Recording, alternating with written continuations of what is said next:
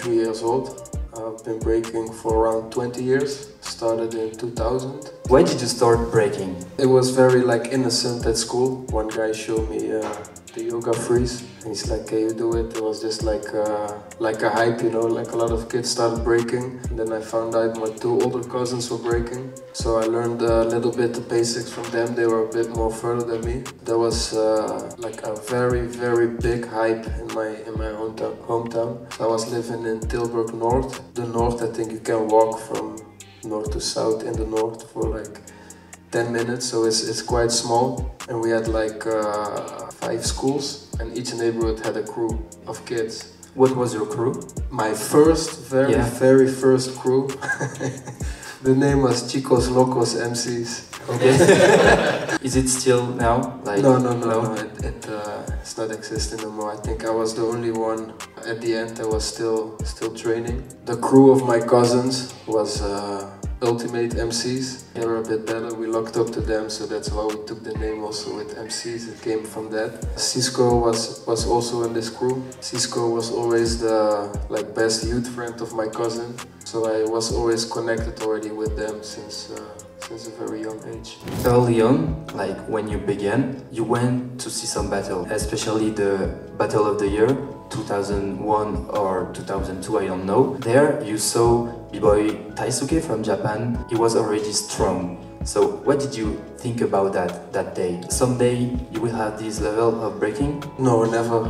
No, I was. I remember because Taisuke was, and he. I think he even appeared younger than he really was. But he was like a kid, and I was still learning my windmill, and Taisuke was already like Okay. doing air flips. And this day, I remember like, holy shit, I'm so far behind. You know, it's uh, it's never gonna be possible to reach or to catch up with guys from that level. So it was motivating in a way, but it was also demotivating. But you know, when you when you just start breaking, everything you see is dope. Because you go to the cipher and you see somebody warm up and he almost do an air flare and it's already you're already amazed by it, you know. And I think this is something to uh, be aware of and to appreciate in the beginning of the dance because the longer you dance, the more critical your eye will be and the more harder it becomes to like enjoy to see like uh, people break in general. You Like know? how is it now? Are you still enjoying some steps when you twirl around the wall? Yeah, for sure. But uh, I have to say, like when you when you judge an event, there's maybe 20% in the lineup that you really like. Okay. Really like it, you know. So a small proportion. So a right? small proportion, and then when you just begin with breaking, I think it's like uh, it's maybe the opposite. It's like uh, 90% or something. You're amazed by. And do you think that you were naturally gifted? Uh, no, not at all. When I was started, I was definitely not one of the talented ones that started. Around in my area, I remember everybody was training roll back to one hand or elbow to one hand. For me, I was very slow with picking up these things in the beginning, but I found uh, my creativity to find other ways to do it. So I kind of discovered creativity through breaking.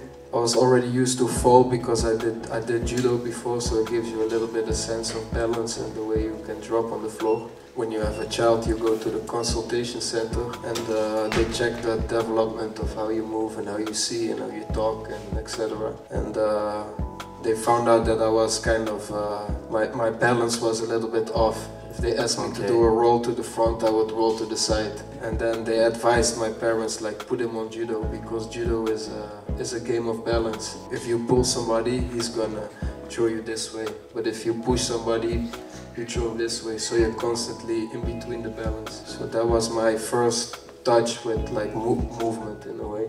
And I heard that it was really long for you to understand breaking, like 10 years maybe. How do you explain that? I don't think 10 years is long. I think it's it's average. Even now, after 20 years, I'm still I'm still learning, you know. And I think that's the beauty of breaking. You're never there, you know. That's why it's so addictive, also because you can always develop. There's always parts to improve. So this is, uh, I think, what makes break special. Before 2007, you used a lot of sets in your rounds. Why did you start to change it after this year? I think one of the first thing was like when I started going to Circle Kings. I was exposed a bit more to like the cipher culture of, of breaking and you just look stupid if you run the same sets in the cipher over and over, you know. Also like the ciphers are small so you need to be able to adjust more. And then when you when you're starting to get a name and you do different battles every week, people start to see your rounds and it starts to be predictable, you know. That's the opposite what I want with my breaking. I want my breaking to be unpredictable because I, I cannot get it from like the the sense of doing something physically super hard. I need to surprise you. You need to be like, huh, huh. That's that's where my power is. So that's the first time where I was like, okay, I'm doing a lot of battles and in a way it's giving me a success because I made my name and I won competitions like UK champs and stuff, but something didn't feel right and I feel I had to go back to the process and switch it up a little bit. And I was inspired by people like Atta and you saw Flomo and Rocksteady crew, Skill Methodz. They were so free in their dance. It's a lot of freestyle, but it's also a lot of basic, like baby freeze, halo, swipe, and you could almost like describe what they did. And my philosophy in my break is I don't want people to be able to describe what I do. So you would rarely see me do a round where you can be like, he did a, a six step to a swipe, windmill, tap mill, chair freeze, do this and that. All the basics they're in it, but they would be like uh, air baby to something weird to a CC to something weird. Like there's like a, a, switch to something creative all the time. And that's the way I break in a way with my sets. But I was like, I want to be able to be more free with that. So that was a bit my point where I was like, okay, I want to switch it up a little bit. So now, how are your sets made? I have like short pieces and they can match. I like to compare it a little bit like uh, K'NEX. It's something similar to uh, Lego. Is it the Menno style? A little bit, yes. And can you elaborate on that? Like, what is the Menno style for you? It's just my way. Uh, it's hard to explain, but I like to use shapes and concepts and uh, transitions mixed with uh, authentic b-boy touch. And why do you think that you are successful in battle? I think because I have uh, a lot of material and a lot of people they just run out of moves. I, when I come closer to the final, I feel like that's when I can start firing. It's hard to even to do all my material in one event, so I never need to worry too much about what I still have left. So I get more dangerous towards the final, and I think that's my my strength. I feel when you make eye contact, you can sense if they're ready or nervous or not. Often the first one that looks down is the one who is more nervous and it's already like a small victory in a way I think and uh, I don't know it, it, just takes a lot of control to be in control of your movements and to be still to be really talking to somebody I think this shows a lot of dominance in uh, in the battle if you really if you really show that you're really talking to somebody instead of you're like more like in yourself. How do you manage to remember the things that you didn't do before and at the same time being in the moment? Yeah, you just need to block what you already done. So if something comes up and you in, in your freestyle and like oh you want to go somewhere and you feel oh I've already been there, you need to just choose another direction to work your way out of it. But also preparing before the battle so you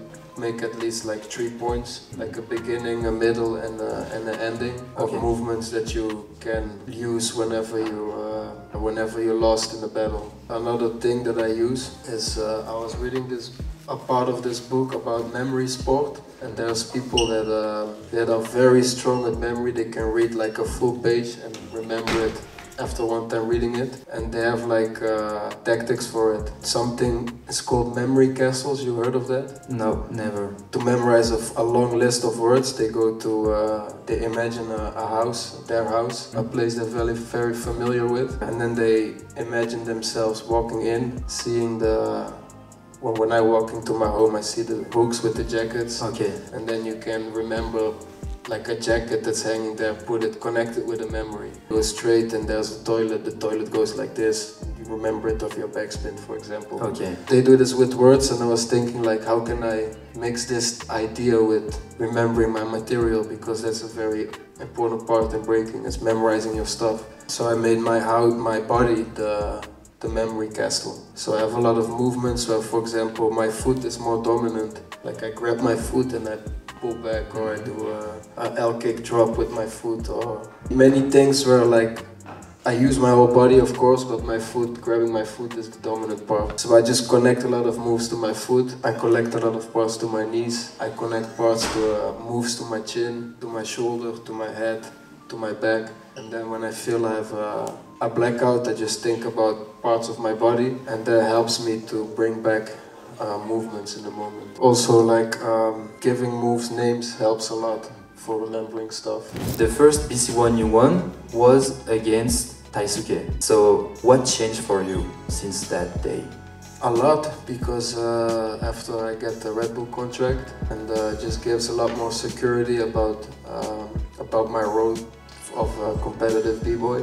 Before that, you you I was living from breaking, but you're still like surviving in a way, you know, and it's hard to save up for later and you just live in the moment with not a lot of security. After that, it gives a bit more peace in your head, like, okay, I'm actually living off this. And it just gives you a more better focus to evolve your dance. It just opened many doors in general. Before joining the BC1 All Stars, you were living from breaking by doing battles or by doing like performance and shows? A bit of everything, just anything that comes on your path, you, you take it. I won UK Champs in 2007, that's where I made my debut a little bit and the international scene, so I was started traveling a bit already, doing gigs here and there, but still it's like uh, not really in uh, a, security, so then you, I did like theater productions, stuff you like to do, but at the end you prefer just to battle, you know, in that moment, but you still feel like, okay, I'm still gonna do this tour because there's more financial security. And then this tour gives you like 30 dates in a full year and you're kind of stuck to it, you sign the contract. So that year I could go to BC1 in uh, Rio de Janeiro, but I had a performance booked. Ah. You signed so you cannot go. That type of stuff, like after getting the Red Bull contract, was like, okay, I just... yeah, it's done. Yeah. Like, since you are a Red Bull All-Star member, how do you prepare for a battle? Train really hard. Okay.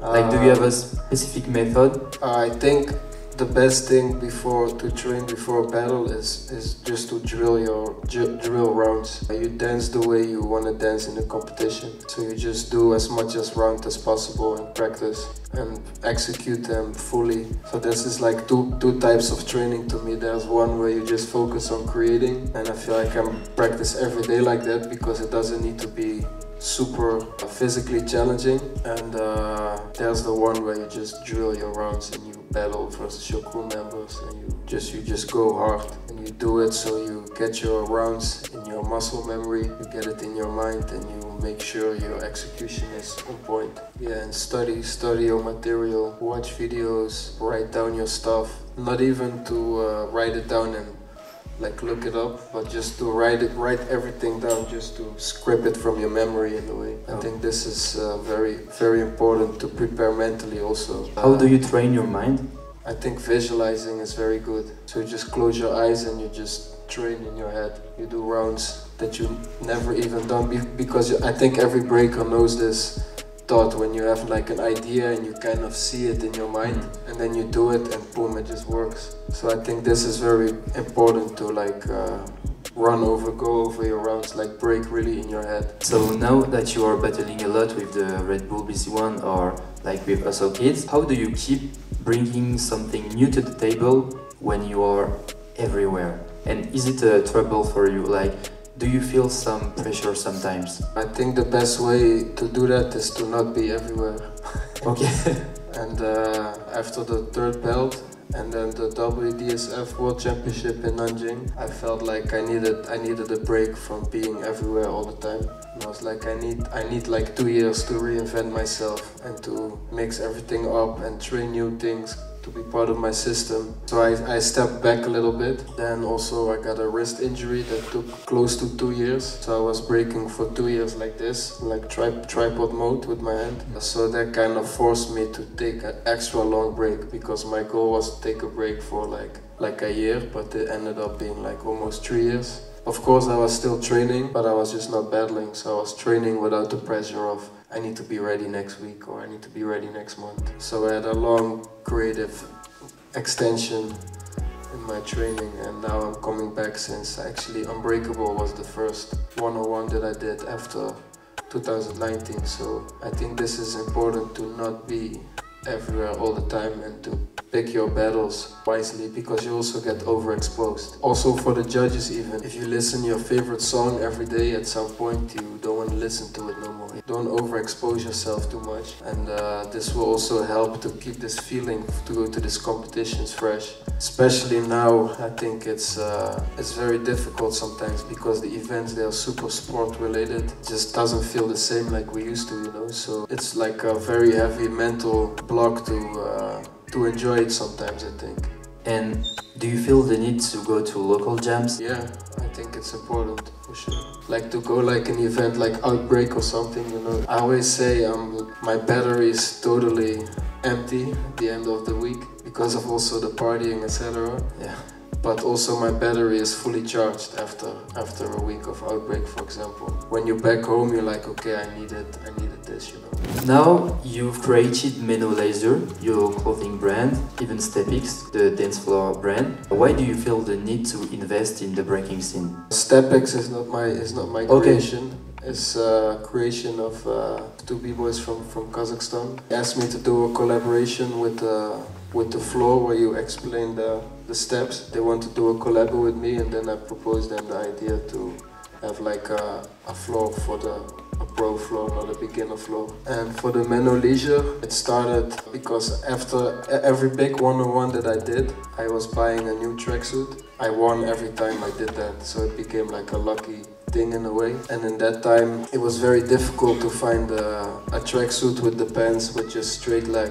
You know, it was like uh, in 2013, 12, 14, all the pants were like this, like the soccer pants, and it wasn't wasn't my my style. And a guy from Scotland, he hit me up, and he designs his own jeans. He makes them by hand. He wanted to send me one of his jeans, but the jeans, he was super passionate about his jeans, but uh, the jeans, the way they were, they were a bit too much for me to wear and I would not battle in it. So I told him like, they're nice, but they're not my style and I don't want to accept something, you know, just for accept it and I will not be able to represent it right. And then he was like, oh, you design, you design your own jeans then, you know. Yeah. and I and I told him like I would love to design my own tracksuits, and he was like, come to Scotland and we do a video with um, with my jeans, and I will help you to design the first tracksuit. And then the first Menno leisure tracksuit was born, and I took it to Ukraine to produce uh, this model there together with Intact. So the first need was actually because I just wanted to design my own my, my own outfits, and after also a very strong motivation of like there is no breaking scene, uh, breaking brand that's known outside of the breaking scene that other people would wear compared to the skateboard scene. Yeah, really. There are so many brands. You don't need to be uh, a skater to wear uh, skateboard brands. You know, everybody wears it, but still everybody is aware. Like, okay, it's uh, it's a skating brand. You know, and I, I want something like that for the for the breaking scene as well. And I, I realized all the breaking clothes that were out back then. It's all still very like uh, b-boy for life. And I was like, all this breaking brand stuff looks more like merchandise than an actual brand. To see what all the breakers that are actually dope, what they wear. They just like sport brands and stuff, you know. Like the most merchandise I felt it was more for fans almost than for like real b-boys, you know. So I wanted to create something for them and like a simple logo and something like minimalistic. So that was the, the motivation to create Menno Leisure. I know that you have uh, other passions, such as, for example, photography or art, like uh, painting art. Can you elaborate on that? Yeah, when I moved away from my parents' house, I had uh, no internet and no TV for the first months. I always was into like just doodling. That's when I got into painting a little bit. I went from never doing it to like doing it a lot. I can be a, a little bit extreme sometimes in the in the ways in what I do. When I do something, I fully go for it. So I started painting, trying to find a signature style of creating stuff, and and photography was just always a passion of me by like traveling and capturing memories and shooting the crew. But then I became a father. I have two kids now and the clothing brand and a dance studio A and of training for the Olympics and just too many stuff going on in my life that uh, unfortunately painting I don't have time for it at the moment so I have to like put it in the fridge for now. Photography was also getting a bit away because I started traveling alone a lot but then it came back with with doing my clothing brand because I had another another mission for my photography and it became a bit more like fashion photography but because I shoot most of the photos. That's on my uh, Menno Leisure Instagram myself. I like to shoot with film. And that's the yeah the re the rebirth of my photography let's say. Painting now hopefully I will pick it up later again. When I break my knee or something I will be uh, I'll be back. Do you have any advice for b-boys? Like it's the classic one, but I think it's so important. So keep really uh, the love for it. Do your research about the, the history. Be very critical to yourself. Do research into music. Be really open to appreciate different music styles. Don't just uh, put on a, a mixtape because I think now it's so easy for breakers. You go to a practice room and you like, like you have like so many choices of breakdance mixtapes, but everything is mixed already, so it doesn't give you any uh, background about who's the artist, what's the name of the song. Don't be lazy with uh, with your music as a as a breaker, you know. I think this one is very important because different music styles can make you move different on the floor, and uh, it helps you definitely to create in a in a different way. Because only breaks breaks are always it's a beat that's like repetitive coming back. Where if you would practice on jazz music, there's more like sideways and different different angles you can take with the music. One more important advice as a breaker, I think it's very important to. Uh, find your signature style of, of, of moving. I think you need to be honest with yourself and feel like, okay, where's my talent or what, what's something that I really like to do. You make sure you master it. If you can do halos, it's cool, but then if you feel you got a good talent for it, really, really master it. Put all the focus on the on the halo, one side halo, inside halo, uh, halos arm crossed, halos here, halos there, halo tread, whatever, like really milk the halo. And when you finally feel like, okay, I, I mastered the halo, you're gonna think like, okay, what's something that really matches this halo movement, you know, something that can be uh, adjustable, like a, like a good ad for the halo. So for example, you'd be like, okay, air chairs is nice to mix with halo. So you're gonna master air chairs then when you finally finish your air chairs, air chair, elbow, blah blah blah, then you go to the next thing, okay now I think 99 will be nice. Or you, you go focus on air babies. And I think if you really focus on one thing, like a lot, then you're able to make it really yours. And then when you put it together, slowly you will start creating a signature style. Because if you just train everything all the time, you just train everything a bit, nothing will stick out, you know, everything will be like uh, generic, you know. So I think it's really, really important to find that focus part and be like, okay, I need this and I want to be the best of it. And then when you feel you like you really master it, you go to the next. And if I can translate my breaking, when I started, everything was from baby freeze. Baby freeze walk, baby freeze jump, baby freeze spin, baby freeze windmill. At some point I went to Scandinavia and they shook my hand like this. They're like, yo, what's up?